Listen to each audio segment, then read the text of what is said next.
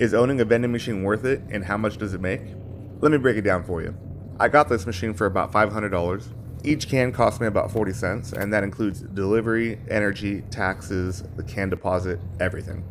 And then I sell each can for a dollar. At the very most, I spend one hour each month reloading the machine and collecting the money. I average around two to three hundred dollars in gross revenue each month, but more during summer.